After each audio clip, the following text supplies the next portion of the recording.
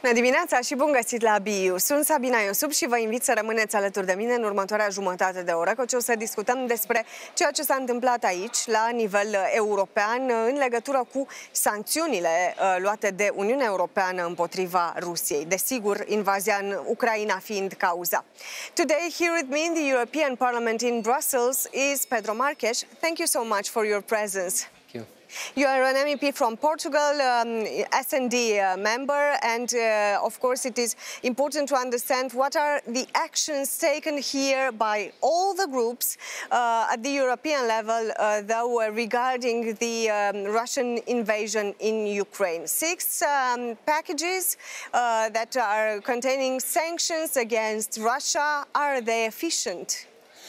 Well, um, again, thanks for having me back in the in the program. Um, these are very difficult times, of course, and uh, first of all, our solidarity from all the parliament, I would say, or almost all the party of parliament is certainly focused on the Ukrainians that are suffering the most.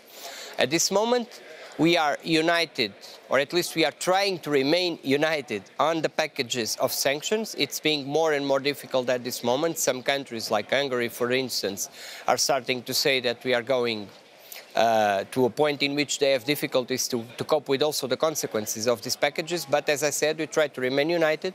And now, uh, with full embargo of oil from, from Russia to the European countries. We want that to happen in the sixth package of sanctions, further people being sanctioned, further Russian banks being also included in the, in the blockage of SWIFT transactions.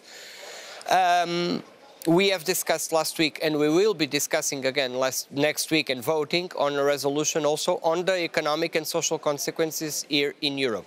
Because if we want to remain united and support more and more the Ukrainians with military equipment, with these sanctions towards Russia, we also have to address the consequences towards the, the, the Europeans.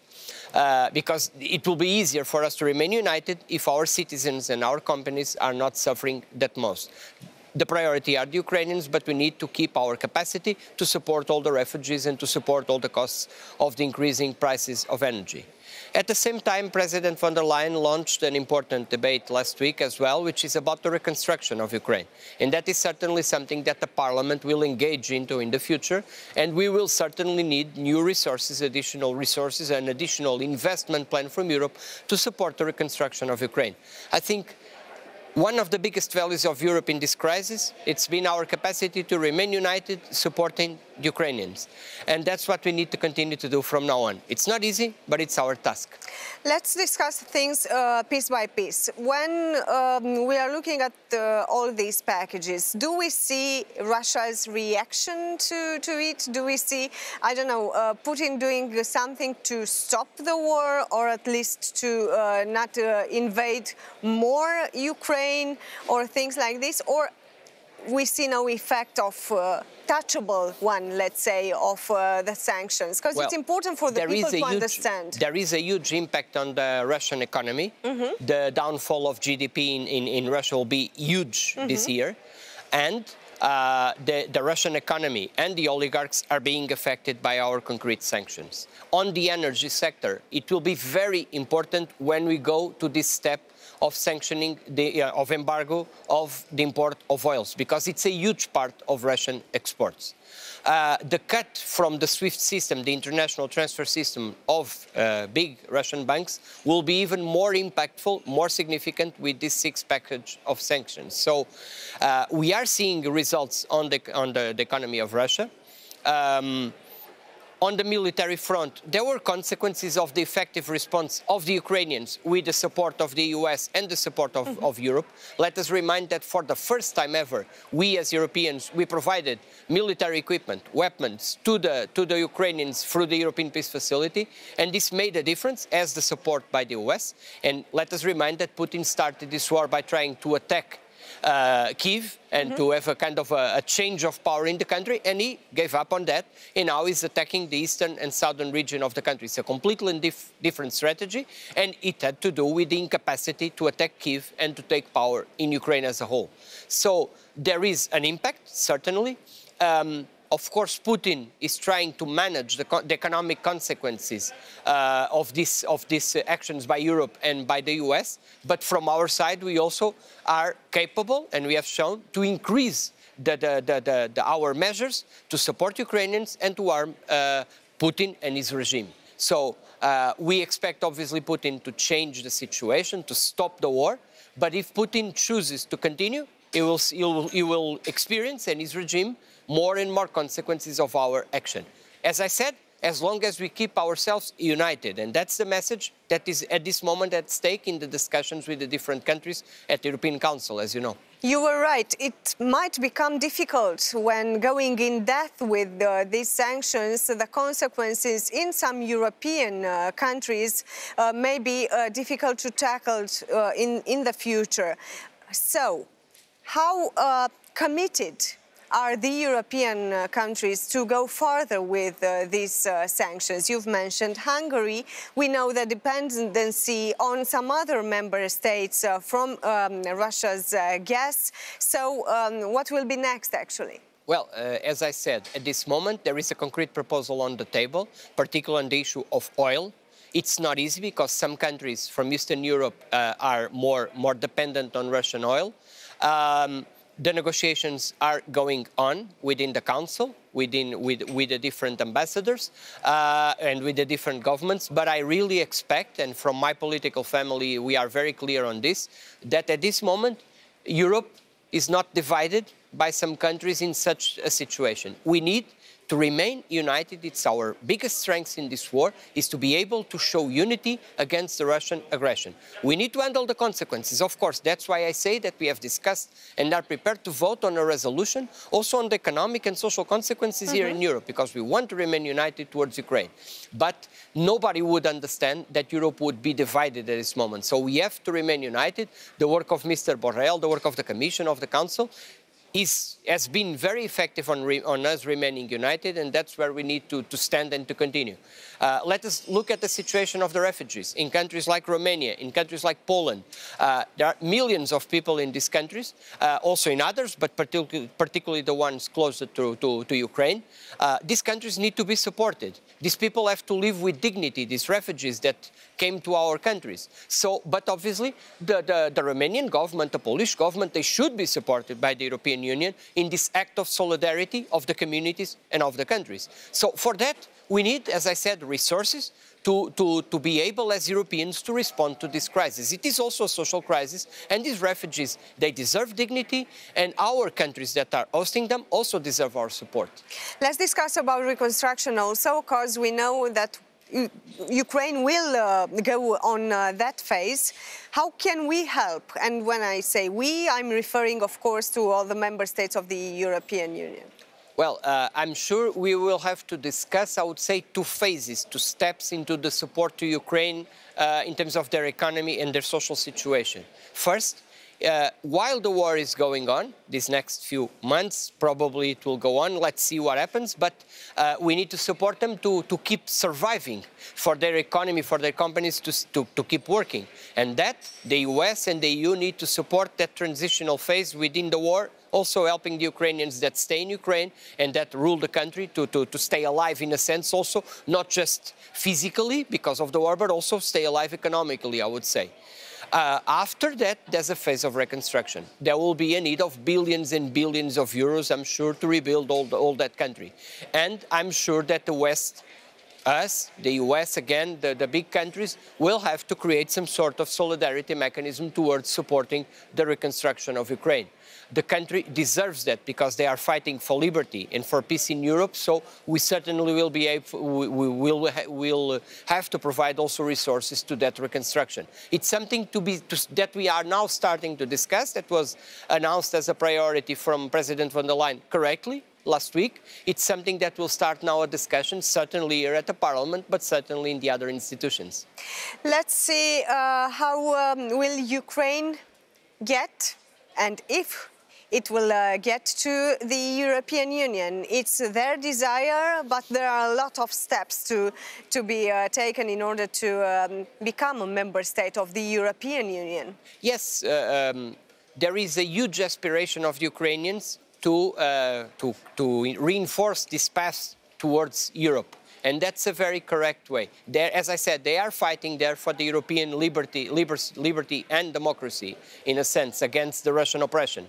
Uh, and so we should recognize that effort and create that path towards Europe, European aspirations of the Ukrainians.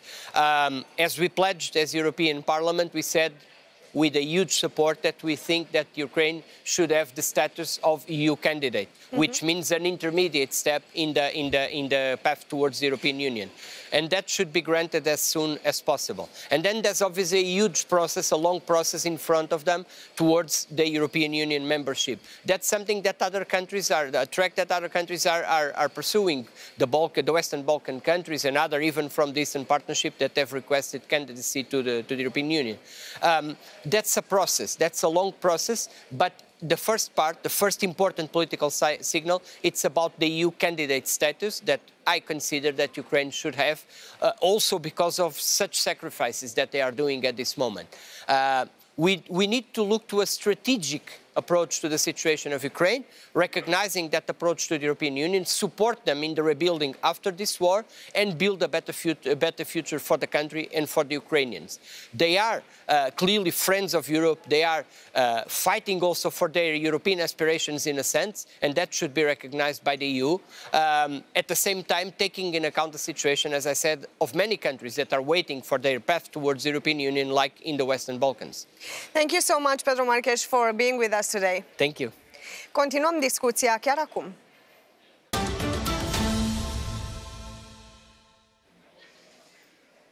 Alături de mine este europarlamentarul român Vlad Gheorghe, reprezentând Renew. Mulțumesc foarte mult pentru prezența la BIU. Bună ziua și mulțumesc și eu pentru invitație. E foarte important să înțelegem ce se întâmplă în acest moment la nivel european, în zona uh, sancțiunilor, în zona izolării, să spunem, Rusiei din pricina acțiunii uh, de invadare a Ucrainei. Uh, șase pachete deja uh, discutate, deja decise aici la nivel european, pachete de sancțiuni.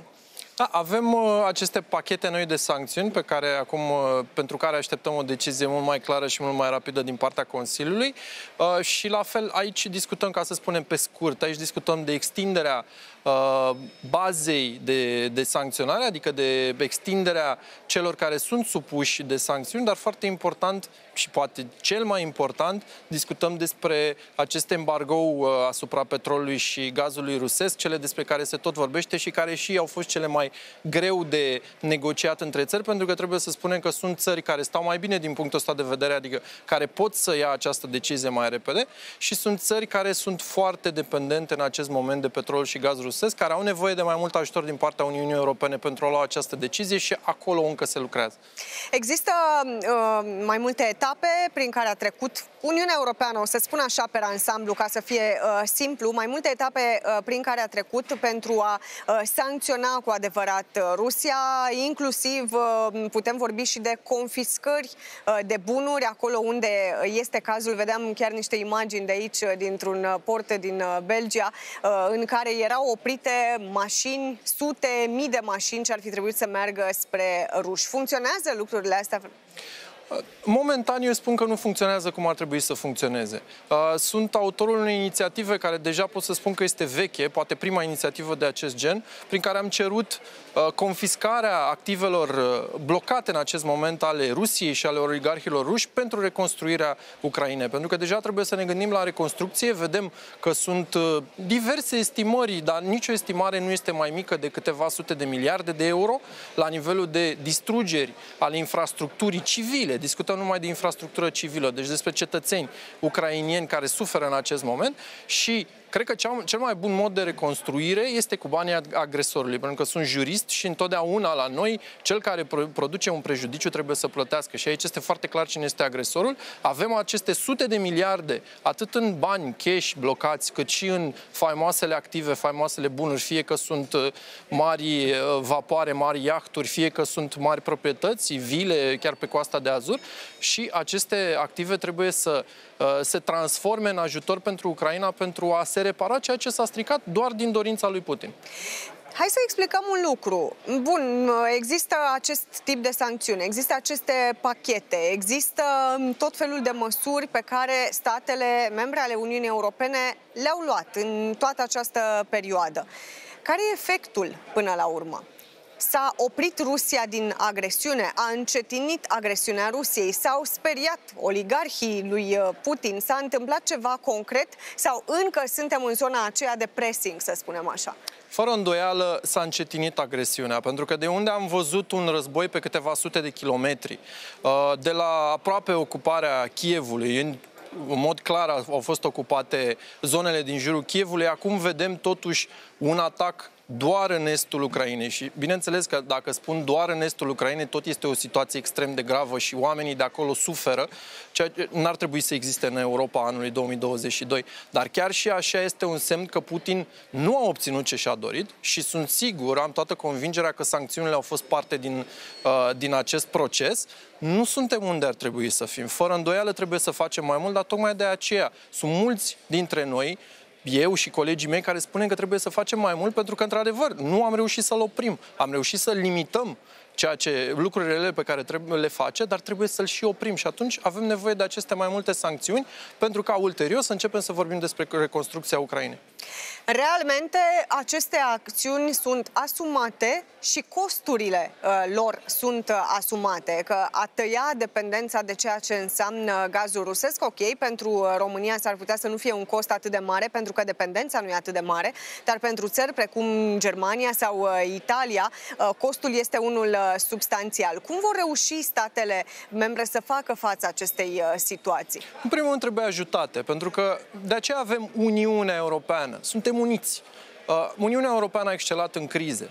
A excelat când am avut nevoie unii de ceilalți. Vedem pachetul PNRR, care are rol de a reveni economic după pandemia COVID-19. Acum este exact un asemenea exemplu. Țările care au nevoie de ajutorul Uniunii Europene, de acest buget, de această putere fenomenală economică pe care o are Uniunea Europeană, chiar și Germania are nevoie de ajutor de la restul țărilor, atât de puternică cum este ea, trebuie să aibă acest sprijin. Și cred că putem să folosim atât banii de tranziție la energie verde, atât resturi de, de bugete care nu sunt cheltuite astăzi și bani care încer- pe care încercăm să-i folosim pentru, uh, pentru trecerea peste criza războiului, agresiunii Rusiei asupra Ucrainei și sunt sigur că putem să găsim, mai ales în calitatea mea de membru al Comisiei de Buget, spun asta, putem să găsim acest, acele resurse pentru a face tranziția într-un termen rezonabil. Nu spune nimeni că rezonabil este mâine, dar rezonabil este în câteva luni, pentru ca odată Putin să știe că lucrurile se termină și că nu mai poate să mai facă acest șantaj și în al doilea rând foarte important pentru ca niciodată niciun dictator să nu ne mai aibă la mână cu o resursă atât de importantă. Ce face România? Cum a uh, acționat România sub umbrela aceasta europeană a măsurilor europene în uh, situația războiului uh, din Ucraina? Sunt două paliere aici și uh, asta e o întrebare foarte bună pentru mine. Sunt două paliere. România, poporul român a reacționat fantastic în ceea ce privește războiul din Ucraina. Peste așteptările tuturor, suntem un exemplu în Uniunea Europeană fără îndoială. Societatea civilă, românii, au ajutat fenomenal ucrainienii, atât cei care au venit la noi în România, dar atenție, îi ajutăm în continuare și pe cei care sunt în Republica Moldova. Și pe moldovenii ajutăm să-i ajute pe, pe refugiații ucrainieni. În ceea ce, privim, în ceea ce privește însă partea de autorități, autoritățile, în opinia mea, nu s-au descurcat, nu au făcut nici măcar minimul pe care trebuiau să-l facă și acum, din nou, nu suntem în avangarda uh, sancțiunilor, nu suntem în avangarda celor care, se, uh, care ajută Ucraina în mod administrativ. Repet, cetățenii noștri fac foarte multe lucruri, donează, avem foarte mulți donatori dar autoritățile nu se remarcă. Nu, nu ne remarcăm precum Polonia, care, în opinia mea, are un succes de politică externă, deși, repet, România ajută cel puțin la fel cât polonezii, dacă nu chiar mai mult. Autoritățile, din păcate, însă nu țin pasul. Ați fost în Ucraina, ați uh, văzut uh, cu ochii dumneavoastră situația de acolo, i-ați auzit uh, pe oameni, i-ați ascultat. Ce au în mod special nevoie acum? În mod special, nevoia acum au, nevo- au, uh, au o nevoie foarte, foarte puternică de alimente. Au, în același timp, au de câteva săptămâni au o criză de carburanți, de combustibil, din cauza atacurilor țintite asupra infrastructurii de, de transport, în special de combustibil a Rusiei. Uh, dar întotdeauna au și vor avea nevoie de alimente și de medicamente, în special uh, mai mult uh, bandaje, garouri, lucruri care înseamnă prim ajutor, pentru că sunt foarte, foarte mulți răniți și nu vorbim doar despre combatanți, doar despre militari, vorbim foarte mult despre civili, pentru că am văzut că bombele uh, trimise de Putin, din păcate, nu lovesc în niciun caz numai, uh, numai ținte militare, ci mai mult lovesc ținte civile, din păcate. Ce mai putem face? Cum mai putem ajuta? Ce mai puteți face aici la nivel uh, european? Cum mai puteți ajuta? La nivel european, cum am spus mai devreme, trebuie să în primul rând să implementăm aceste sancțiuni despre care discutăm, în primul rând să tăiem accesul lui Putin la monedă uh, europeană, pentru că acest acces vine strict prin petrol și prin gaze și în același timp să tăiem această legătură de influență a lui Putin asupra țărilor europene, nu contează cât de multe sau cât de mari sau cât de mici sunt ele. Trebuie ca această influență să nu poate să existe din afara Uniunii Europene, să fim stăpânii propriilor decizii întotdeauna și în același timp, bineînțeles că noi cetățenii putem să ajutăm cu alimente, cu medicamente, dar și autoritățile trebuie să facă mai mult acest lucru în continuare, pentru că războiul continuă și sunt victime în continuare pe teren foarte multe. Ucraina poate ajunge să fie membru cu uh, tot ceea ce înseamnă asta al uh, Uniunii Europene?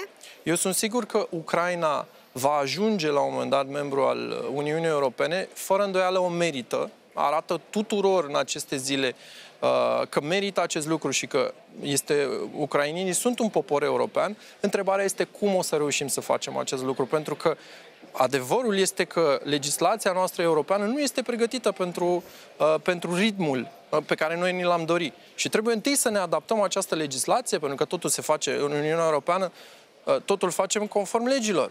Discutăm din nou despre statul de drept, probleme pe care le-am avut și în România. Trebuie să facem acele reguli, să le adaptăm, discutăm despre schimbarea tratatului, lucruri foarte importante, pentru a ne adapta la noua realitate, pentru a fi uh, capabil să introducem nu numai Ucraina în Uniunea Europeană, dar și Republica Moldova și atât de repede cum ne dorim noi, adică imediat. Există un mesaj pe care vreți să-l uh, transmiteți românilor care ajută ucrainieni în acest uh, moment? E ceva ce trebuie să știe de aici, de la nivel european, că pot face suplimentar?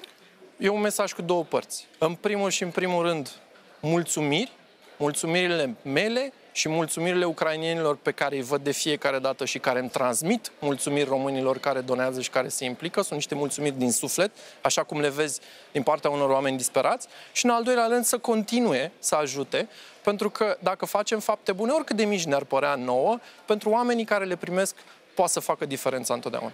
Vlad Gheorghe, mulțumesc foarte mult pentru această discuție și pentru prezența la BIU. Mulțumesc și eu. Vă, celor de acasă, vă spun să rămâneți pe Antena 3. Nu uitați că ne revedem și sâmbătă viitoare la 9 și 30 de minute la BIU. Cu bine și vorba aceea, sănătoși să fim!